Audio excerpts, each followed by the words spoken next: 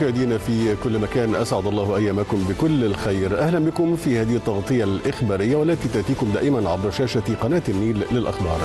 في خضم التحولات والتوترات التي تعيشها المنطقة تبرز محاولات الولايات المتحدة والاحتلال الإسرائيلي لفصل المسارات بين قطاع غزة ولبنان سعيا لإضعاف محوري المقاومة في كل منطقة على حدة ما جعلنا أمام تساؤلات كبيرة حول مستقبل المواجهات وأبعادها السياسية والعسكرية.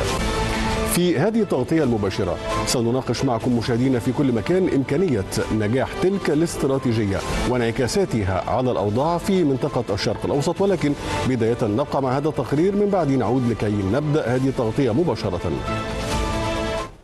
تكثف الولايات المتحدة الأمريكية الجهود الدبلوماسية لوقف إطلاق النار بين الاحتلال الإسرائيلي وحزب الله اللبناني.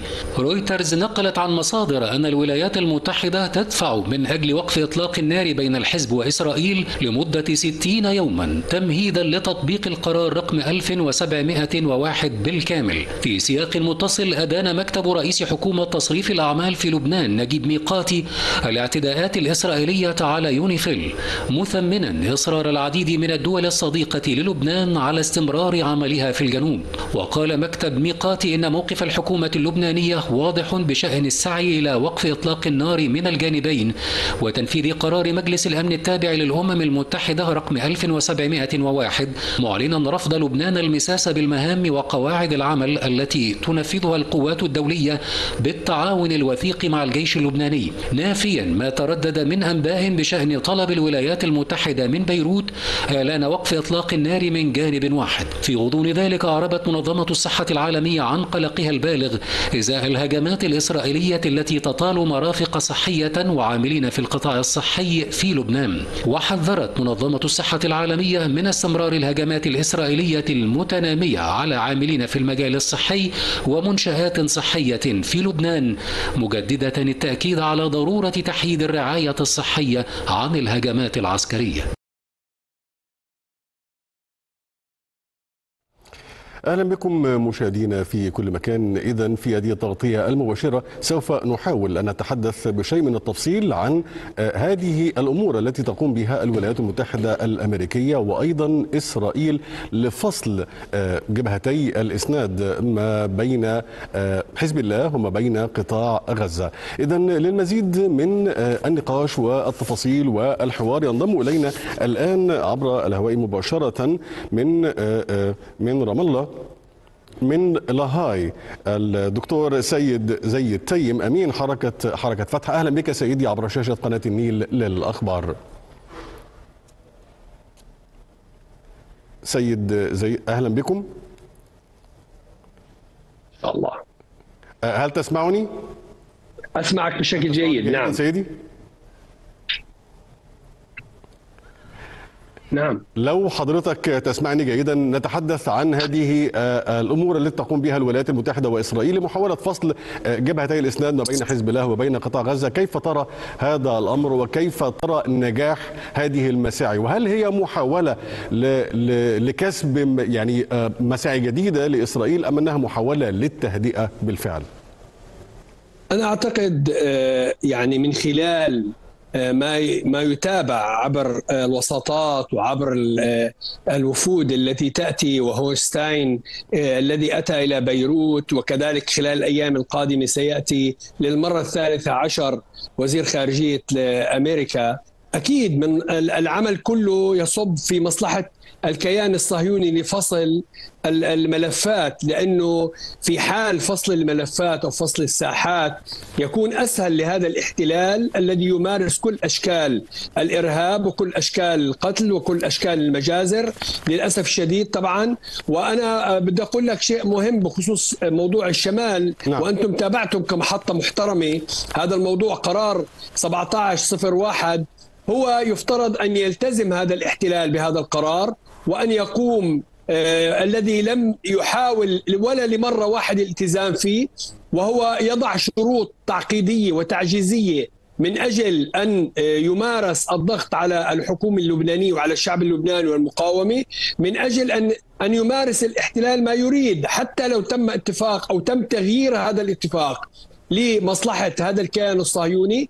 يحاول أن يضع شروط تعجيزية مثلا إذا يعني إذا تم هناك وقف إطلاق النار سيبقى الاحتلال يمارس كل سطوته في المجال الجوي اللبناني وهذا شرط تعجيزي أعتقد. نعم. وأنا بدي أقول لك كمان المعلومة أخرى وأنتم كذلك تابعتوا ذلك. هذا الموضوع بشكل جيد أنه آه، هوخستاين هو أصلا يحمل الجنسية الأمريكية وهو خدم في جيش الاحتلال وهو يحاول أن يعمل ما يستطيع ويحاول ممارسة الضغط أنه الكيان الصهيوني سوف يدمر ويضرب. إذا لم يكون هناك وقف إطلاق النار يعني يحاولوا استخدام أساليب التهديد والترهيب بصراحة وليس آه، آه، يعني مفاوضات بشكل آه، جيد حتى لو تم الضغط من قبل بعض الدول وعلى رأسها فرنسا إلا انه أمريكا تحاول دعم هذا الكيان الصهيوني بشكل كبير وهذا واضح جدا نعم. من خلال آه، محطات الإعلامية التي تتابعونها ونتابعها بشكل جيد. صحيح.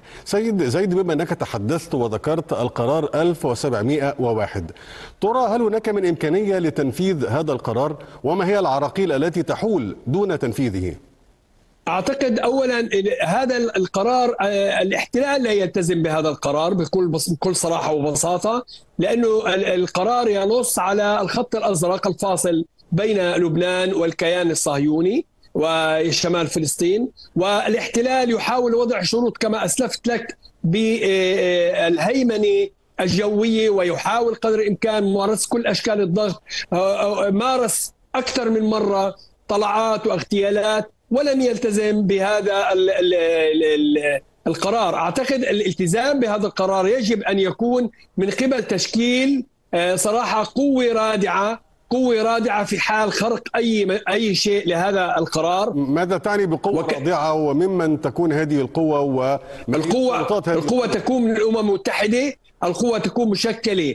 من الأمم المتحدة بقرار مجلس الأمن الدولي هو تثبيت هذا القرار مرة أخرى ولا ولا بأس أن تكون مشاركة بعض الدول العربية، لماذا لا تشارك بعض الدول العربية وتشارك بريطانيا وتشارك بعض الدول آه، مثل آه، أسبانيا وغيرها من الدول التي تنحاز إلى العدالة وليس الدول فقط التي تنحاز إلى الاحتلال، ولاحظ أن الاحتلال مارس أكثر من مرة القتل والإرهاب حتى ضد اليونيفيل وهذا ما أتى على لسان الأمين العام ومسؤول اليونيفيل في آه، شمال فلسطين صحيح. هذا هذا الشيء يعني أعتقد إنه دائما تغيب العدالة عن هذا الاحتلال والدليل على ذلك إقامته ويعني آه، ضرب البنية التحتية ضرب القرى وتدمير القرى في جنوب لبنان وضرب كذلك آه، في غزة وحرب الإبادة الذي يخوضها لأنه لا يستطيع تقديم أي شيء إلا هذا النوع من الإرهاب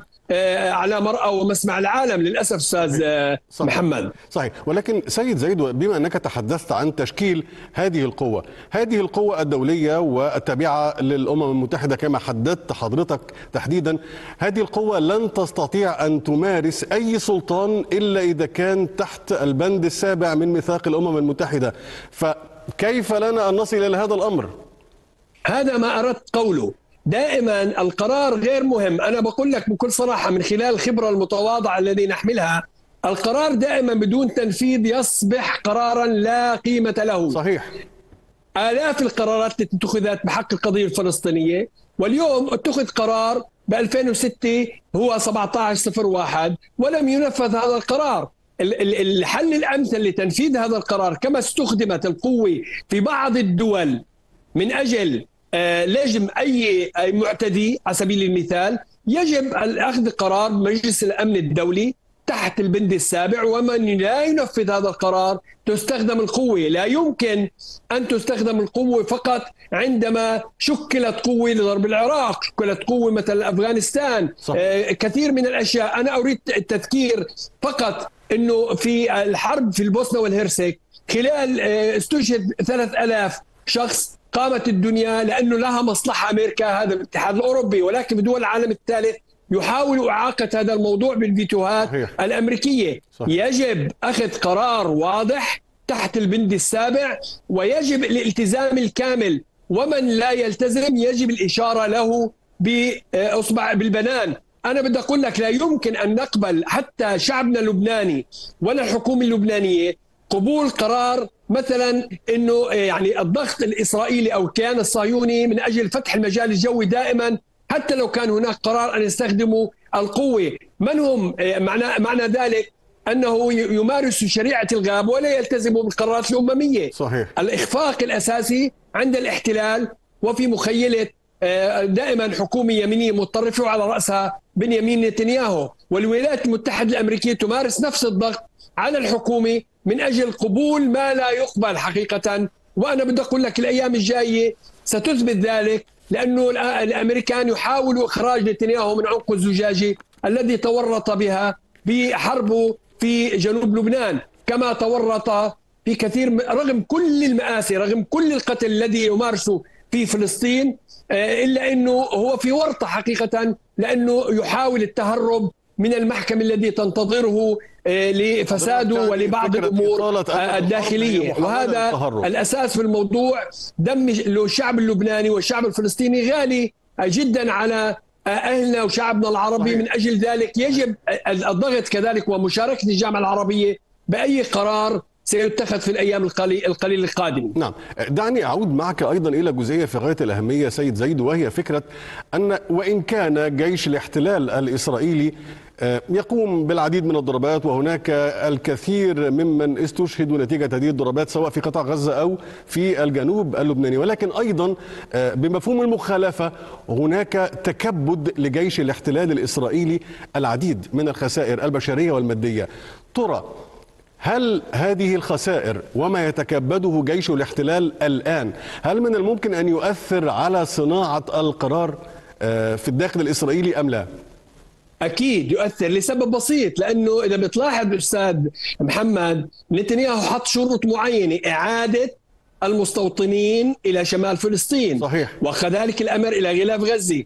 لم يحدث ذلك على العكس تماما. نتنياهو نفسه تعرضت سوريا إلى طائرة وإلى قصف بيته واضطر إلى الذهاب إلى تل أبيب. أكيد المقاومه اليوم في لبنان توجع الاحتلال وتحاول ضرب أماكن حساسة لأنه الاحتلال دمر كثير من القرى وحاول ضرب العاصمة اللبنانية بيروت الذي صمدت في 82 وأنا أعتقد إنه رغم كل ما يحدث الآن من تدمير إلا إنه الشعب اللبناني واحد موحد إلا بعض الأصوات الذي تخرج نشاز هنا وهناك نعم. ولكن أنا أقول لك وبكل بساطة نعم الاحتلال والشارع سيضغط على نتنياهو ويحاول وأمس كان هناك يعني حاجة كبيرة جدا صحيح. بموضوع الاتهامات المتبادلة وتقديم بعض المستشارين له لإعاقة أو لتأخير المحكمة الذي تنتظره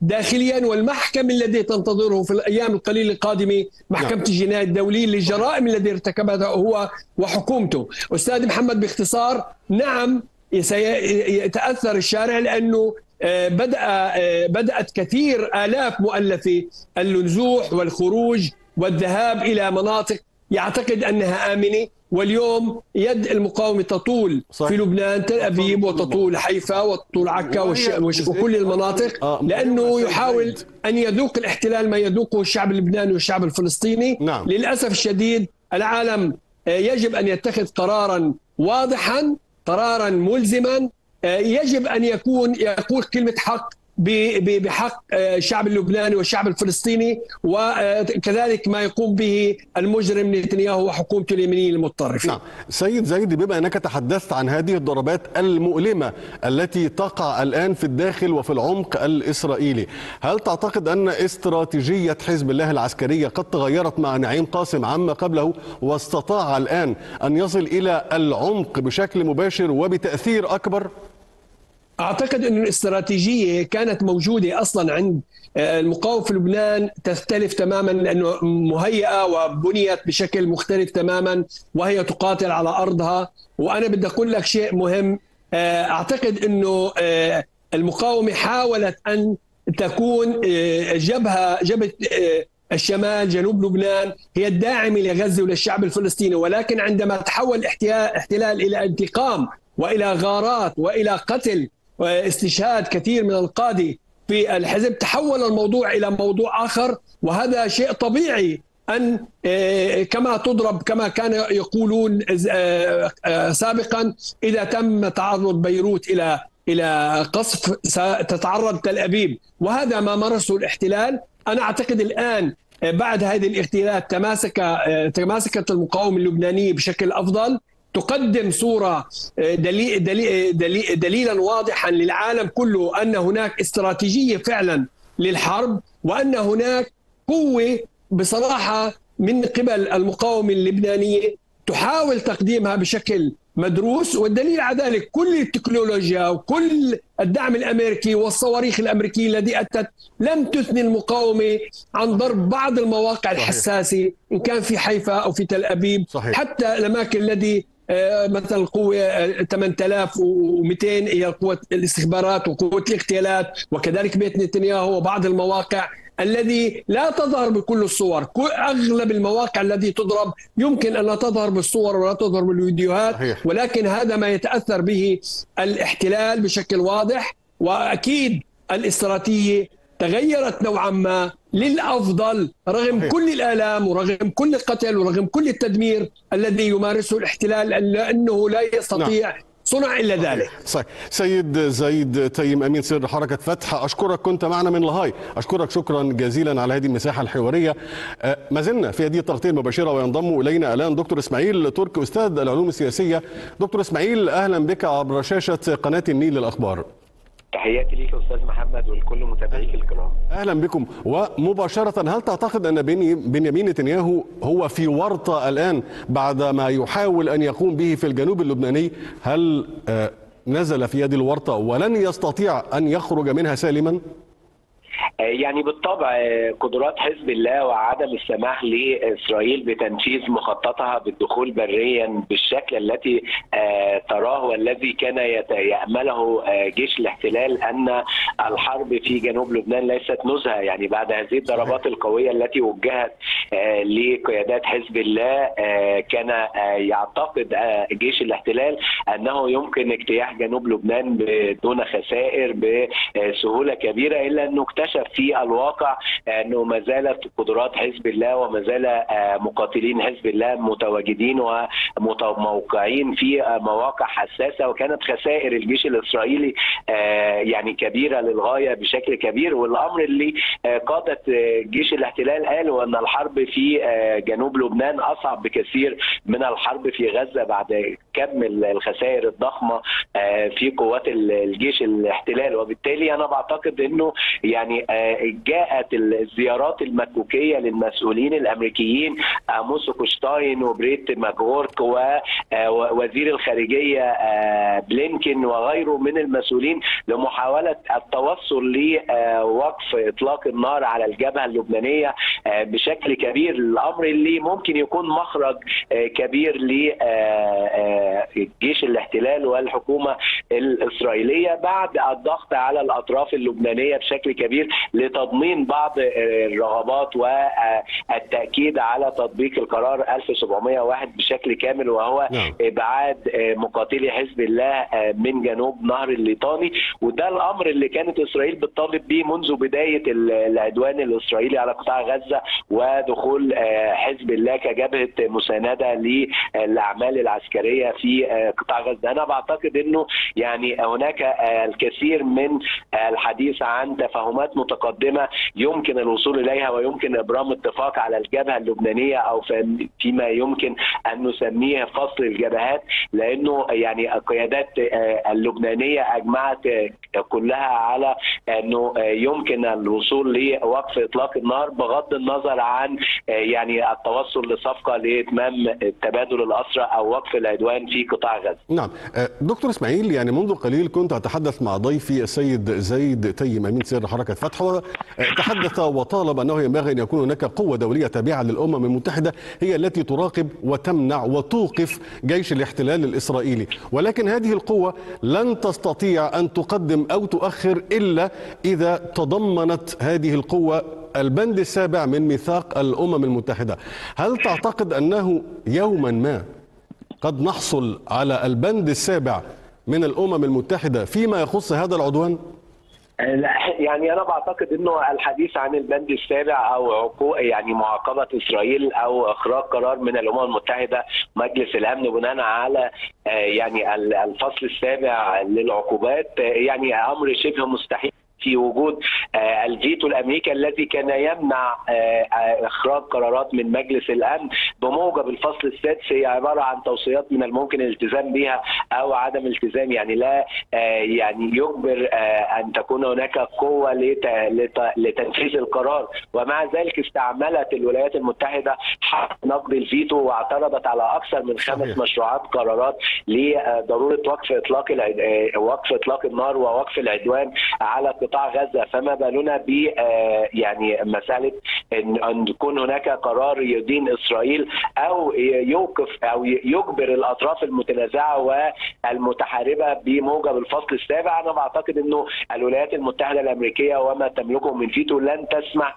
بهذا ولكن هناك تفاهمات أخرى حول يعني ضرورة تدعيم قوة اليونيفيل في جنوب لبنان وإدخال عدد من الدول وزيادة اعدادها وتسليحها وتجهيزها. حتى مع الحظر الذي تفرضه إسرائيل على اليونيفيل تعتقد أنه يعني ينبغي أن تضاعف قوات كيف كيف هذا وإسرائيل أساسا؟ لا تعتبر الآن أن هناك أن قوة اليونيفيل هي قوة للمساعدة الإنسانية فقط وليس أكثر من ذلك. يعني أنا بعتقد إنه في تغييرات في في النظرة يعني قوات اليونيفيل تم الاعتداء عليها من قبل قوات الجيش الاحتلال وأمرتها ووجهت لها خطابات أكثر من مرة بضرورة الانسحاب من المواقع. وكانت يعني تعتقد إسرائيل إنها باستطاعتها يعني الدخول في الأراضي اللبنانية بشكل كبير وبسلاسه دون معوقات بعد ضربات قاسمة لحزب الله إلا إنها تفاجأت بقوة المقاتلين حزب الله في على الأرض وبالتالي تغيرت تغير الوضع لتدعيم هذه القوة وإدخال الدول. يعني هناك مسؤولين أمريكيين برسائل محددة إلى ألمانيا وبريطانيا وفرنسا وغيرها من الدول لاستطلاع رأيهم ب يعني الاشتراك في هذه القوة وتدعيمها وزيادة قدراتها بعد الاتفاق على أن يكون الجيش اللبناني هو الموجود على الحدود اللبنانية الإسرائيلية بقوات قوامها من 5000 إلى 10000 بنتكلم عن 8000 جندي من الجيش اللبناني وإبعاد مقاتلي حزب الله يعني شمال نهر الليطاني. أنا بعتقد إنه يعني هذا الأمر حسب التفاهمات المتقدمة اللي بيتكلم أو بيتحدث عنها المسؤولين الأمريكيين أو الأطراف الدولية المتداخلة في الموضوع بتقبل إسرائيل بهذا الوضع. لأنه هو الهدف إبعاد حزب الله من على الحدود اللبنانية الإسرائيلية وإعادة الأمن وإعادة ال يعني ال ال السكان الإسرائيليين للمناطق الشمال التي نعم. يعني تركوها. صحيح. صحيح، دكتور إسماعيل تركي أستاذ العلوم السياسية أشكرك شكرا جزيلا على هذا الحوار، ما زلنا في هذه التغطية المباشرة اما الآن فتنضم إلينا من رام الله دكتور تمارا حداد الباحثة في العلوم السياسية. دكتور تمارا أهلا بكم عبر شاشة قناة النيل للأخبار. تحياتي لكم ولقناتكم الكريمة ولكل المتابعين الكرام أهلا بكم سيدتي ومباشرة هل تعتقدين أن ما تقوم به الولايات المتحدة الأمريكية وإسرائيل من محاولة لفصل محوري المقاومة أو فصل الإسناد عن قطاع غزة هل استطاعت أو هل تستطيع أن تصل إلى هذا الأمر؟ حتى هذه اللحظة لم تستطع الضغط على حزب الله أن يفصل جبهته الإسنادية عن جبهته عن قطاع غزة. ما زال حتى هذه اللحظة هناك ثلاثة نقاط ما زال ملتزما بها حزب الله رغم أن في الآونة الأخيرة أن هناك تيار في داخل حزب الله بالإضافة إلى ضغط بعض القيادات اللبنانية أن يتم عملية الضغط على حزب الله بفصل منطقة قطاع غزة عن الجبهة اللبنانية وبالإضافة إلى ما بعد خمسة كيلو متر إلى ما بعد يعني الحدود اللبنانية مع فلسطين المحتلة ولكن رفض الشرط الأخير. يعني حزب الله كان قد يتم التهاون في عملية الفصل والتهاون في عملية ابتعاده إلى الداخل يعني قرابة خمسة كيلو متر ولكن تم رفضه الشرط الأخير الذي طلبه نتنياهو وهو المتمثل بنزع سلاح حزب الله وبالتالي حزب الله حتى هذه اللحظة ما زال مصمم على عملية ربط الجبهة الإسنادية لقطاع غزة وحتى على مستوى الجبهة المتعلقة في الدفاع عن لبنان بالإضافة أن أصبح هناك شرطا جديدا قدمه نتنياهو. لبعض الوسطاء الغربيين وهو لن يوقف الحرب على منطقة جنوب لبنان إلا إذا كان هناك حالات التطبيع ما بينه وبين الدولة اللبنانية. وهذا يعتبر شرط يعني صعب جدا بالنسبة تحديدا صحيح. الواقع اللبناني. يعني صعب جدا أن يتم تحقيقه. هناك ما زال الشعب اللبناني يرفض هذا السياق. وناهيك أن حتى على مستوى الحكومة وحتى على مستوى الفصائل في داخل التي هي تنظم كواقع طائفي في داخل اللبناني قد يتم عملية ان رسم خريطة جغرافيه أو ديموغرافية أو حتى هيكلية البعد السياسي للبنان. تختلف كليا عن أي واقع آخر، بالتالي طبيعة الطائفية وطبيعة الفصائلية وطبيعة الواقع السياسي وحتى على المستوى الاجتماعي قد يختلف كليا بعمليه القبول في حالة التطبيع، إلا إذا كان هناك هيكلية جديده للنظام السياسي للبنان بان يتم عملية إبعاد حزب الله بعيدا عن البعد السياسي وعن البعد العسكري، حتى هذه اللحظة حزب الله يشير إلى واقع أن الميدان هو الحاسم، بمعنى أن الميدان هو الذي سوف يحسم في نهاية المطاف نعم. فمن سوف يفوز في نهاية يعني هذه المعركة. بقيت على ذكر الميدان هل تعت- تعتقدين أن استراتيجية حزب الله آه، وتوجيه ضربات حزب الله الآن إلى الداخل الإسرائيلي وإيقاع هذه الأعداد من جيش الاحتلال الإسرائيلي هل تعتقدين أن هناك تغيير جذري ما بعد نعيم قاسم عما قبل نعيم قاسم؟ بالنسبة للإسرائيليون لديهم عقيدة آه، جديدة أو عقيدة قديمة جديدة بالأحرى هي قديمة جديدة. العقيدة ال- أن في داخل إسرائيل أن يجب تحقيق الأمن القومي الإسرائيلي، بمعنى أن يتم إزالة كل التهديدات الأمنية المتمثلة سواء كان في قطاع غزة أو حتى المتمثلة في وجود حزب الله قرابة الحدود أو قوة الرضوان. نعم. وناهيك أن هناك اصبح في خطة جديدة في الواقع الإسرائيلي تشير إلى واقع إنشاء كما يسمى إنشاء محور فيلادلفيا، يعني بمعنى الآن يريدون رسمة جديدة في منطقه ما بين الحدود السورية واللبنانية، بمعنى إنشاء منطقة آمنة عازلة أو عازلة تماما، يعني بمعنى أن يتم وجود رقابة وأجهزة تصنت واستخباراتية وأجهزة أقمار صناعية تتواجد على هذه الحدود. الواقع الأمريكي يتقاطع مع الإسرائيلي، لكن الأمريكي اليوم منشغل في المعركة الانتخابية، لذلك حتى هذه اللحظه؟ حسم المفاوضات من ألجأوها إلى مبعد الانتخابات. لم أسمع السؤال من فضلك. ماذا تقصدين من أن الواقع الأمريكي يتقاطع مع الواقع الإسرائيلي؟ نعم هناك تقاطع أمريكي إسرائيلي بأن يتم عملية ان أن يكون هناك إزالة كل التهديدات المتمثله بوجود آه، هم يسمونه كالاذرع بمعنى أن يتم عمليه كما يتم تسميته امريكيا واسرائيليا أن هناك اذرع ووكلاء يجب في المستقبل إنهاء وجودهم ثم عملية بعد إنهاء هذا الوجود أن يتم التعامل مع البرنامج النووي الإيراني، فبالتالي هناك مشروع لدى الأمريكان وأيضا الإسرائيليون أن يتم عملية تغيير البعد الديموغرافي والجغرافي كواقع ديموغرافي اليوم يحاول الاسرائيلي عملية الضغط على المواطن اللبناني عملية نزوحه. وهو بالفعل هناك أصبح, أصبح بالضبط بالضبط قرابة مليون و500 ألف مواطن لبناني. جزء منهم أصبح 500 ألف في واقع سوريا. والجزء الأكبر اليوم في كربلاء. يعني اليوم تم استقبالهم في العراق في منطقة كربلاء تحديدا الحاضنة الشيعية. في منطقة جنوب لبنان، لذلك إسرائيل الآن من خلال القصف الجوي، من خلال الأرض المحروقة، من خلال ما ما استخدام كل الضغط على البنية التحتية وإنهاء مقومات الحياة في جنوب لبنان، هو يريد أن يضغط أن لا عوده للساكني هذه المناطق كما يحدث اليوم في منطقة شمال قطاع غزة. نعم. شمال قطاع غزة الآن هناك اتباع التهجير، اتباع التفريغ، الضغط على المواطن، سياسة التجويع، سياسة الحصار، هو تشبه ذات الأدوات التي استخدمها في جنوب لبنان، حتى لو وجود حزب الله أكثر تسلحا، أكثر ضربا على العمق الإسرائيلي، أكثر عمقا على خسارة الجي... ضباط الجيش الاحتلال. هناك عدد قتلى، هناك عدد جرحى، يعني أصبح هناك عدد كبير من القتلى والجرحى الإسرائيليون، لكن هذا الأمر بالنسبة لنتنياهو خلال قرابه الشهرين القادمين باعتقادي أن بعد تسلم سواء كان هاريس أو حتى ترامب سوف تحسم الاستراتيجية الجديدة للأمريكان رغم أن واضح تماما أن الدولة العميقة في الولايات المتحدة الأمريكية بغض النظر الجمهوريون أو الديمقراطيين هم مع الدفاع عن الأمن القومي الإسرائيلي، نعم. لذلك يحاول الكيان الإسرائيلي تغيير هيكلية أيضا الجغرافية.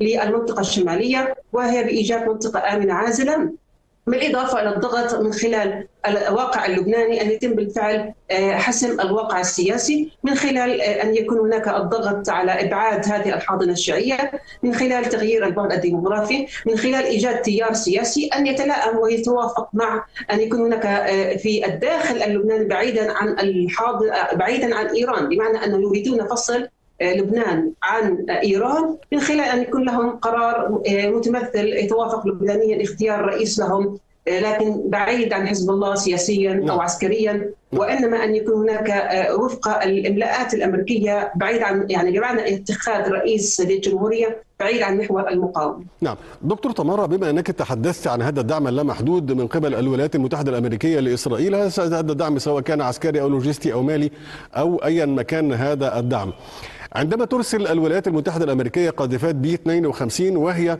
وأنتم أكثر دراية مني هي قادرة على أن تحمل قاذفات يعني عشرات الأطنان وتصل لمدى يتجاوز 2000 كيلومتر.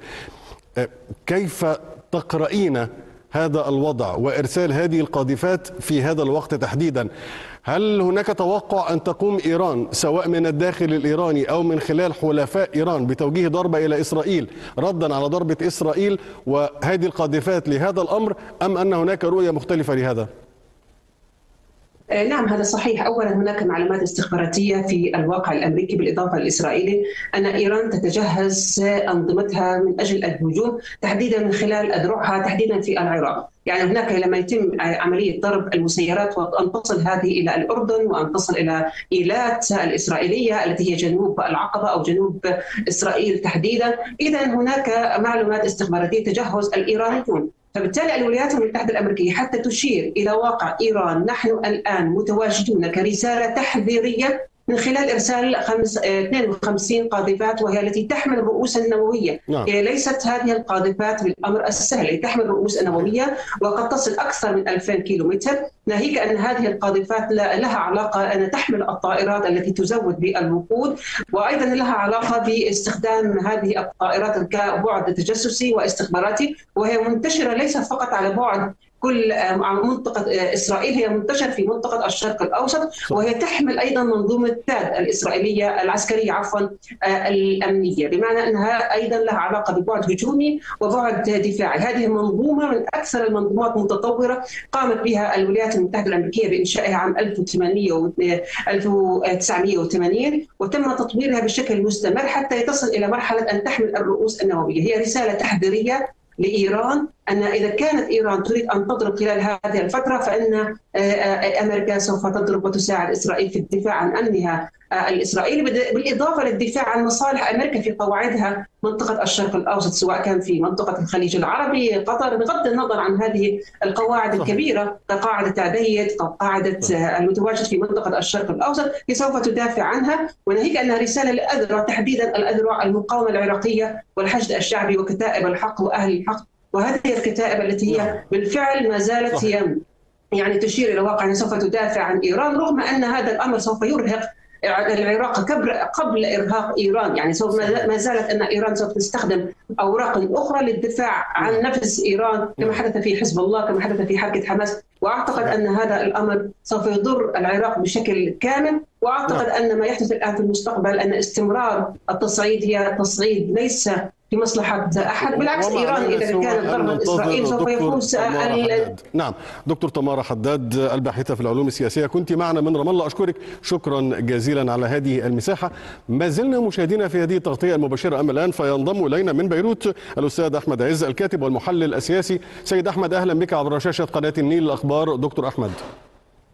نعم. دكتور أحمد ومباشرة هذه القاذفات التي ترسلها الولايات المتحدة الأمريكية بي 52 ترسلها إلى المنطقة. وقبل هذه القاذفات هناك مبعوثين أو مبعوثين تحديدا أمريكيين لمحاولة التهدئة وإيقاف القتال.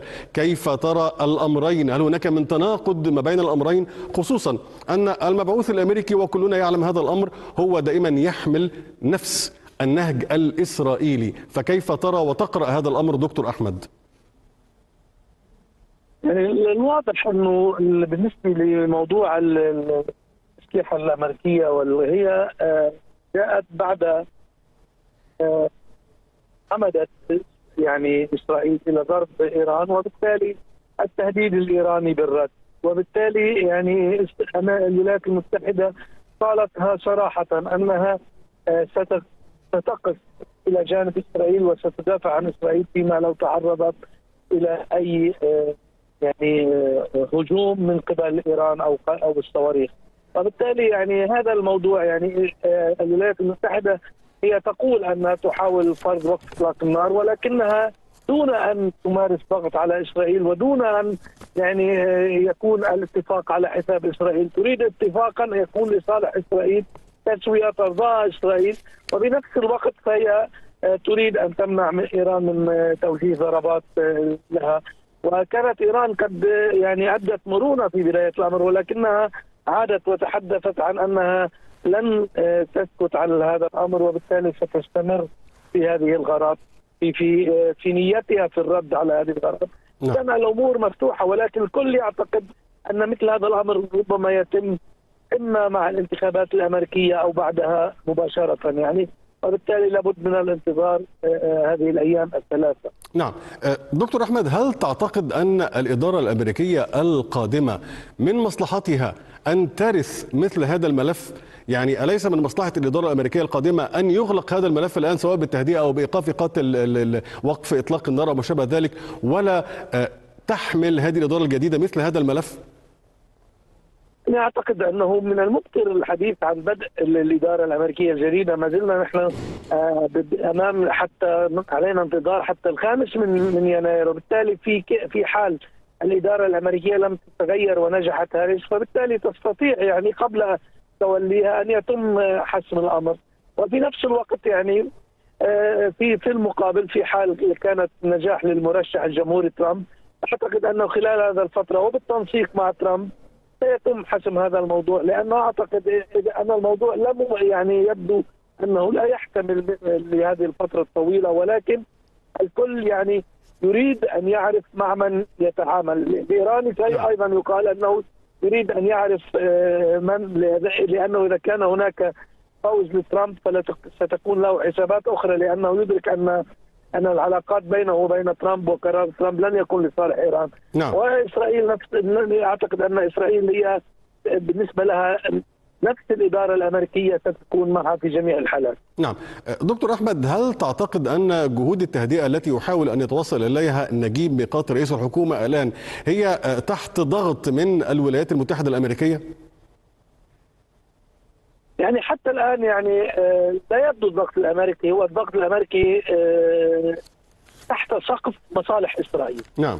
يعني يريد أن يرى أين هي مصلحة إسرائيل ويمارس الضغط. هو يدعو إلى اتفاق ويحاول المسعى ال- الذي يعني يقوم به الجانب الأمريكي إلى المفادين والاتصالات هو يأخذ بعين الاعتبار ما تقبل به إسرائيل ويأخذ بعين الاعتبار المصلحة الإسرائيلية.